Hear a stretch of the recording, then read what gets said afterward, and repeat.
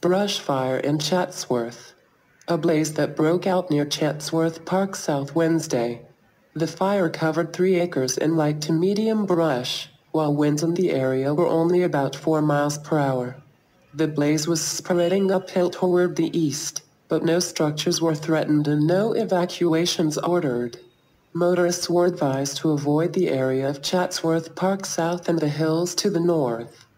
The National Weather Service had warned critical fire weather would linger in the area through Wednesday due to high temperatures coupled with gusty winds and low humidity.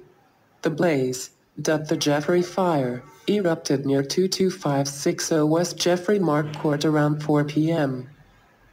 The blaze grew to about 5 acres, and it also briefly threatened nearby homes before crews extinguished most of the flames. It was not immediately known what caused the fire.